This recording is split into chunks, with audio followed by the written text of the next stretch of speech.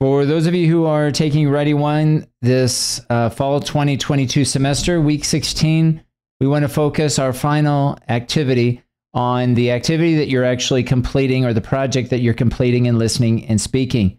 I'd like to take the information that you're learning from this presentation to design first an outline.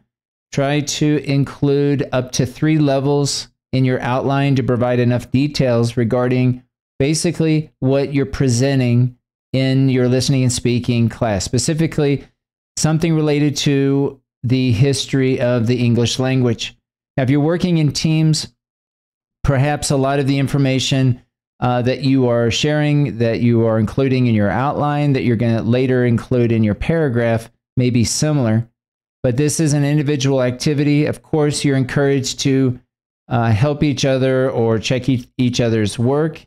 But this is an individual assignment in that each of you should design your own outline, at least three levels. And then, based on that outline, create your paragraph. One paragraph that begins with the topic sentence, followed by specific details or, or sentences related to examples, facts, maybe even statistics if you had to investigate and get information from outside sources.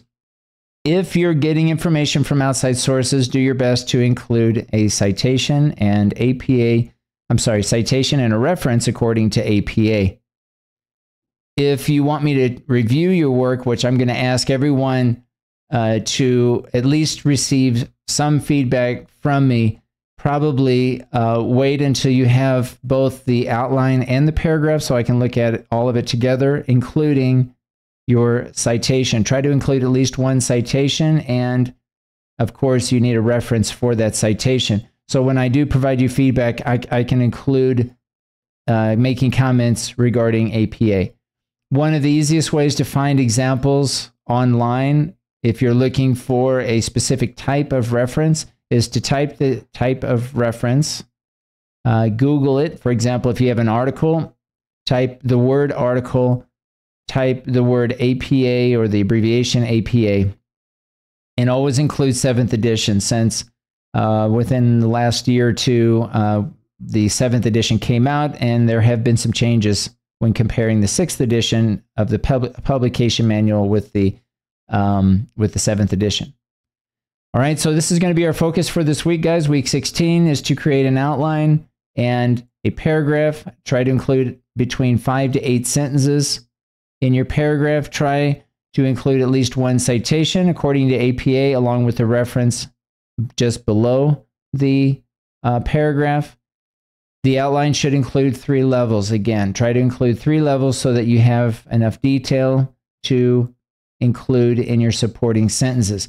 Try to include examples of, or at least one example of a compound, complex, and a simple sentence. Try to use prepositional phrases subordinating clauses, relative clauses, as you're familiar with those um, clauses, if you have studied those in your grammar class. Um, and also, finally, make sure that you include or you stay in the third person in your paragraph. Okay, so no first person or second person. We'll avoid pronouns like I and you and we and us and our. We want to primarily stick in the or stay in the third person.